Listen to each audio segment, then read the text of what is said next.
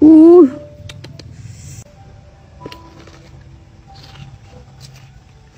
Uhm. Ui nặng quá. Lấy chị cái mệt. Ui, Khói quá. Ôi rồi Hôm nay hái quýt nhá. Không những là chị cả hái được nguyên quýt đâu Mà còn được một thứ nữa. Từ nhá cho xem nhá. U. Quýt tươi rói luôn này. Ủa, Mẹ quýt rừng này là vừa đi hái về này mọi người ơi. Cái này thì nó rất là tươi. Ừ, Thơm lắm luôn ấy Quýt rừng này thơm lắm á. Đây cho mọi người xem nhá. Quả quýt rừng này. Cái vỏ cái vỏ của nó khá là dày đấy. Đây bây giờ bữa. Thơm lắm luôn đấy đây. Cái này mà ngâm cùng với Ngâm mật ong này quýt rừng. Quá là ngon. Ừ, này chua nhá. Vỏ nó dày như này với cả thơm như này thì mình ngâm với mật ong thì rất tốt cho việc à, Giảm ho cho các bé. Thơm á Quýt rừng thì mấy hôm nay là ngày nào cũng vào rừng hái để tặng cho mọi người rồi Khi mọi người mua mật ong. Còn bây giờ thì sẽ cho mọi người xem một cái rất rất là lạ và mới của năm nay nhé mọi người nhá Mới của cái mùa này. Ôi giời ơi đây mọi người ơi.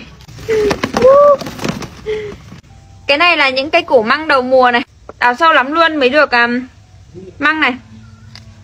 Giờ ăn nó còn rất là ngọt. Này mình sẽ lấy một ít để nướng, Xong rồi một ít để um, Để luộc, để tí chấm mẻ ăn.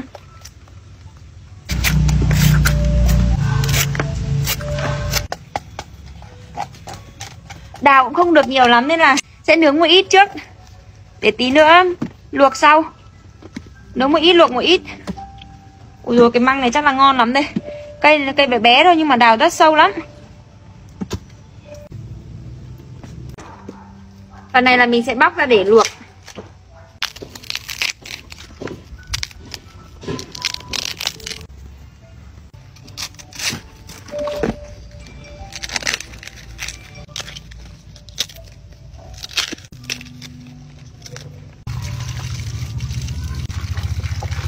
Rửa cho nó sạch đi. Thực sự măng măng này mà. Ăn đầu mùa thì nó cực kỳ ngon luôn.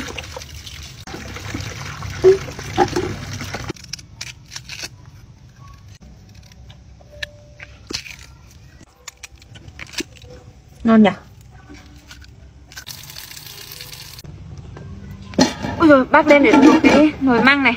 Bây giờ sẽ đi pha một cốc nước mật ong ngâm quýt rừng này để uống cho đỡ đói đó mọi người ạ. Với cả đi rừng về cũng hơi lạnh ấy.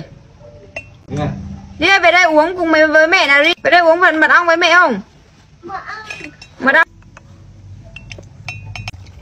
Đi hôm nay đi học có mệt không? Đi học cả em gặp em ít không ừ, Ngon quá. À. Ngon. Ngon Đúng rồi.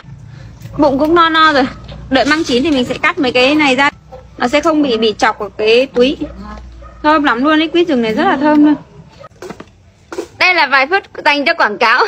Đây là mật ong bạc hà ở trên em nhé mọi người nhé. Cái mật ong bạc hà này thì nó đang là mùa của mật ong bạc hà nguyên chất của Hà Giang à, Mùa mật ong bạc hà thì nó sẽ kéo dài là từ à, 3 tháng cuối năm Đó là tháng 10, tháng 11 và tháng 12 Hiện giờ thì đúng rất là trùng hợp là mùa mật ong xong lại còn lại trùng hợp với cả mùa quýt rừng. Thì nên là bình thường ấy là nhà em hay lấy quýt rừng ngâm với mật ong uống thì nó sẽ rất rất là tốt cho cái việc uh, giảm ho trị ho ấy. Được mà quả quýt rừng này thì nó rất rất là thơm luôn.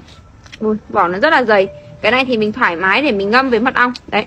Cái này quả quýt rừng này về anh chị không phải không không phải làm gì đâu nha. Cái này về mình chỉ việc rửa sạch thôi. Không cần ngâm nước muối. Xong là thái miếng mỏng ra xong mình cho vào hũ thủy tinh mình rót cái mật ong này vào bảo là mình à, ngâm thôi ngâm khoảng một tuần thì có thể cho các bạn các các bạn bé sử dụng được rồi. Ngon lắm luôn ấy đó giờ là hết quảng cáo rồi nha mọi người nhé giờ thì mình sẽ đi xào mẻ để chấm măng nhé ớt cà chua nữa cả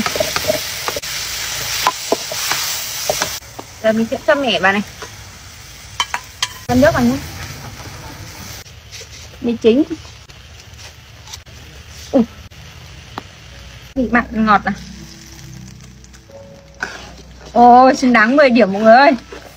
Ngon quá. Cho trứng vào nhá trứng là phải đảo đều lên nhá mọi người nhá. Cho nó tạo cái độ sệt sệt ngon ngon ui mọi người đây là đĩa măng luộc vừa mới luộc xong này. Chấm cái ăn đã. Uhm. ui ngon thật sự. Uh.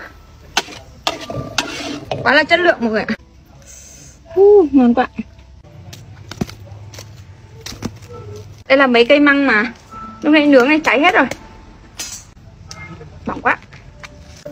Ui, nóng. Uhm. mình rất là thích bóc măng thôi, ăn cái lá lá này ngon cực.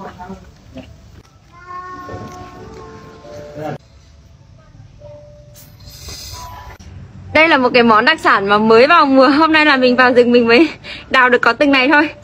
Bây giờ thì mời mọi người nha.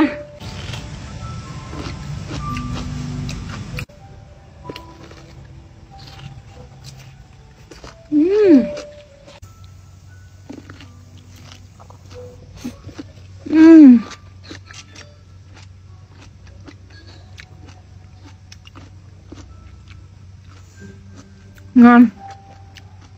Cảm giác ăn măng đầu mùa. Thật sự là đã. Mẹ này thì ở trên mình còn ăn quấn với cả rau sống chấm nữa. Uhm. này là măng luộc nha.